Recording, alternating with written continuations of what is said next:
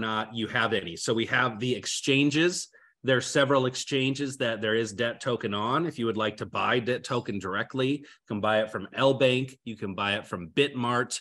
Um, I'm trying to remember the other ones off of my head. CoinGecko's a, a, a, a, a aggregator. That's not that's not a that's not a um what do you call it? It's not an exchange. I think there's a third one. Those those are the ones that I know, guys. So the L Bank and the and the um, Bitmart, and then I know there are others that are coming online soon. Of course, we're hoping and waiting, and and you know, for Binance to become available, hopefully in the near future, and that will make things even easier because obviously that's the largest in the world. So that's what we're looking for with that. There, but then we also can get debt coin internally. If you obviously if you're mining debt coin, if you were able to get a debt a debt license, you have that. But if you don't have a debt license and you do have other coin, you, did you are you going to be able to show that, Bob? How how that works? The yeah, I'm going to go ahead. I'm going to go ahead and try to try to show that. So um, okay. let me. Uh, it just blanks out my um, it blanks out my uh, my whole screen. So let's see um, if I can get that. If I can. Uh, did you give me the ability to share? Oh yeah, share my screen here. So let me let me do that real quick and see if I can get this to work. You guys can tell me if this actually is working for you in a second.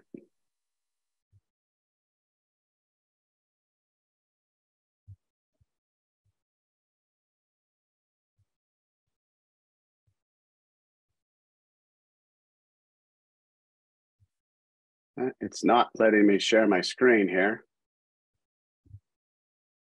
Sorry, guys, try to get all this tech to work all at the same time. Oh, thanks, thanks, Ozzy. Ozzy gave me the list as you're trying to do that, Bob. We got of obviously Pancake Swap, uh, the Dex. You can use that to to get um, debt token with several different coins. We have Bitrue, Bitmart, Exmo, LBank, and Gate.io. So those are the different exchanges. We have uh, five different centralized exchanges and one DEX, Pancake Swap being the DEX that is decentralized exchange. And then so there for as far as acquiring debt token just off the open market if you want to get it from one of those. I say I personally have been using Bitmart. That's the one I signed up for.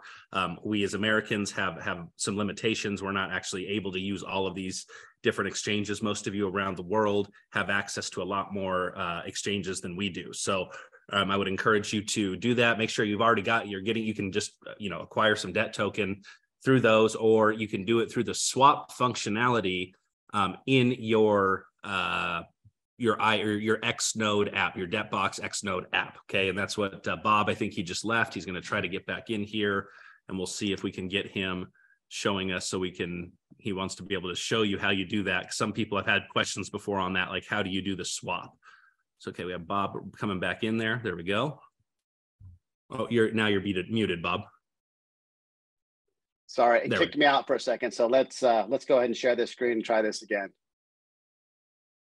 Okay.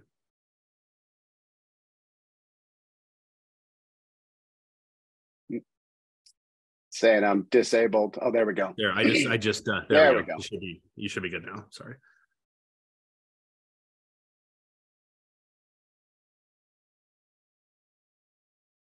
Haha, it's working. Yeah. So you're seeing a whole, bu- whole bunch of stuff on there. Yeah.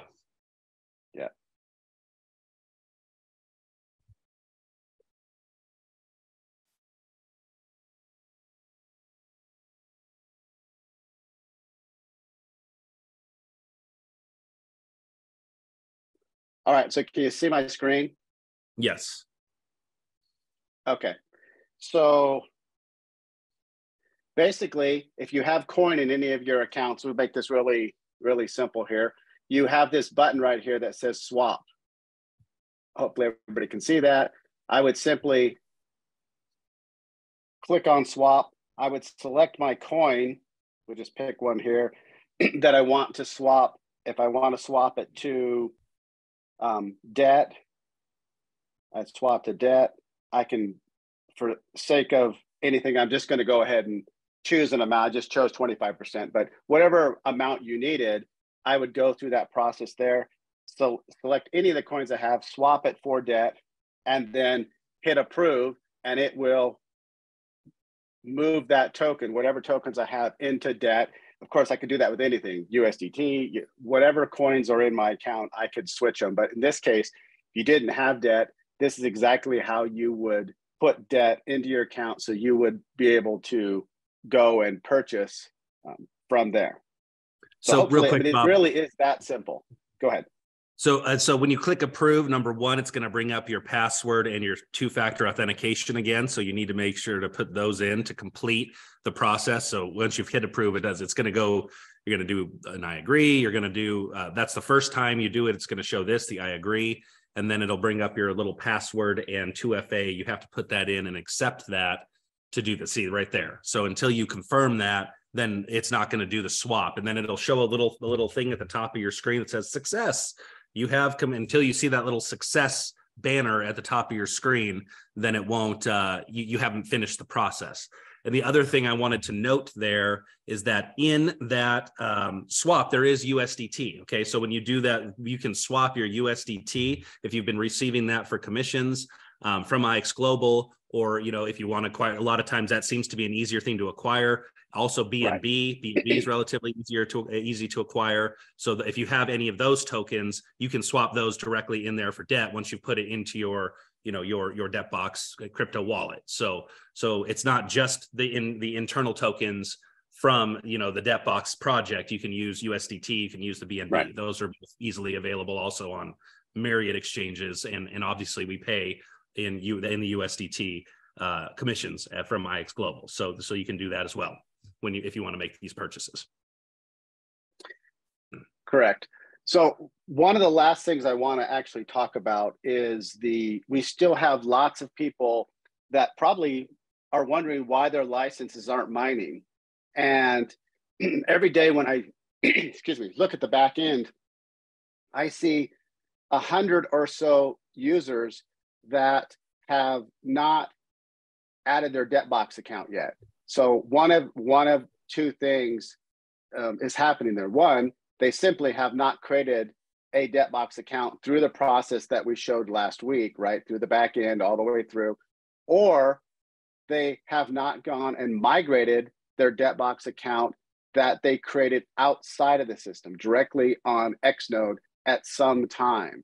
And based on this, your licenses aren't going to start mining until you have your debt box account created or migrated which again as we showed last week is a very simple takes maybe three minutes uh, at the most to do. So if you don't have your licenses you don't see them in your product section or obviously in your debt account please go and check and make sure you have actually have your debt account associated with IX Global. Otherwise, they're just not going to mind. There's nothing we we can't help you on that process. We're asking you to to verify that.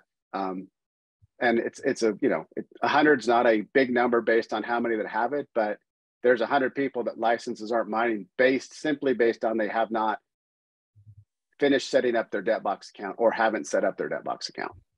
Right and and so once again on that process guys when you've made a purchase of a license and you see it in your xnode dashboard you're not done yet. You still need to click on that green temp credentials button and then you're still not done yet. You need to go in set up your debt box account get your you know you've got your email you'll set up a password. It's going to ask you to activate your 2fa there's a whole process guys and until you've gone through that entire process in the debt box environment and got to where you've got your screen where it's showing your rewards and all the different things that are in there you're not done. So make sure that you're following those through and that you're teaching your new new members on your team that this is i say it's a multi-step process to get fully set up. Fortunately you only have to do the setup process once. We understand it's a very complicated process. Uh, there are multiple steps throughout this process to do but it's got to be done and we, we get a lot of questions about people like bob said say hey where are my license? Well they're there they're waiting but you have to completely set up your debt box account. It doesn't happen for you. You have to do that yourself. There's legality that's involved in that. We cannot do it for you. And also for security and safety you want to set up your own accounts as well. You don't want anybody setting up your account. You want your mnemonic phrase your seed phrase. You don't want anyone else to ever see that you want to set up your 2FA and you don't want anyone else to ever see that. You've got to have that stuff and protect those things yourself. Okay. So, so that's, do you have any other things on that, Bob? Sorry, go ahead. Nope, that's it. Um, that's it from that. I just saw a question that is actually a good question. I wanted to answer really quick because that could be confusing. Um, it was on